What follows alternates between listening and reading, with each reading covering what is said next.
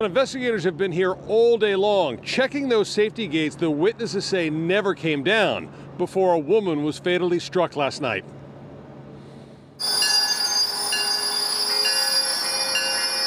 Investigators were back in the same spot where the car was struck by the Haverhill Line commuter train just before 6 p.m. Friday night. I was stunned. I I couldn't believe what I was seeing. This man, who didn't want to be identified, works next to the train tracks. He says he saw and heard the commuter train just before the car was struck. And I hear the engine coming, and uh, he starts blowing the horn, and I saw uh, a couple cars go over the tracks. Just And the gates are up. the gates are up, and uh, then like the third car come along and just blindsided him. The victim, 68 year old Roberta Sausville, was pronounced dead at the scene.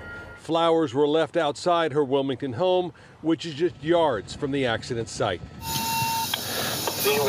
This is video of the victim's car found down the tracks Friday night as emergency officials were still trying to determine what has happened at the railroad crossing. Many witnesses have come forward to first responders and transit investigators claiming the safety gates never came down as the commuter train struck the car, killing the driver, with the incident captured on nearby surveillance cameras. Investigators now have that surveillance tape to see if those gates were properly working, now part of that investigation. We're live in Wilmington. I'm Ted Wayman, WCVB, News Center 5.